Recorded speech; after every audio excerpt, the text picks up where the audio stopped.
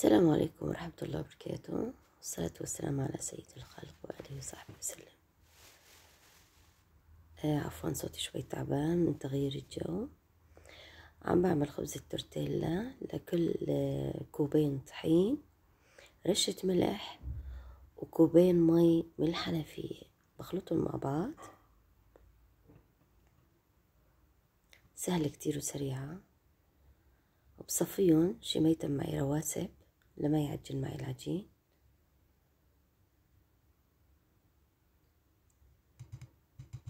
وبغطيهم وبريحهم نص ساعة.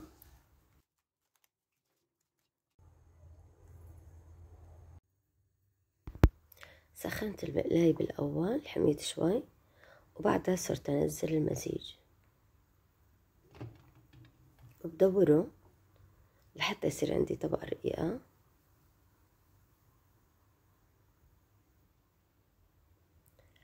وأول ما أتأكد إنه نشفت الحواف أطرافها من برا بصير بقلب القرص معي. شو شلون عم ينفخ من النص مثل رغيف الخبز؟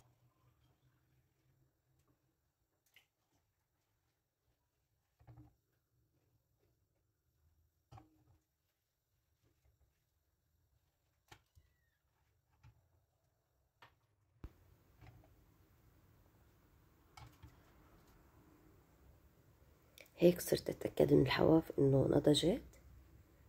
وبعدها من صارت الحواف معناها الخبزة بتقلب معي. قلبتها؟ شغلي كله على نار هادية.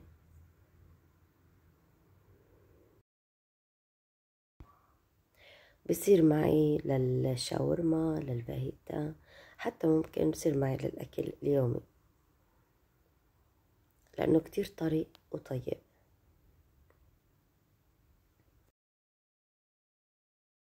هلا إذا بدي إياه أنا مثل رغيف الخبز مفتوح من النص بخلي هالفقاعات تنتفخ.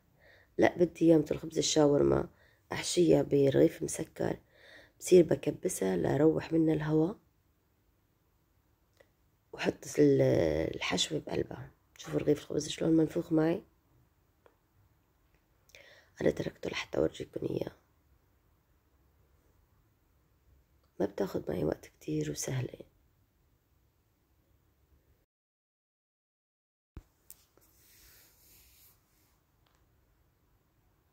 وهيك حتى خلصت الكمية. شوفوا الخبز شطري.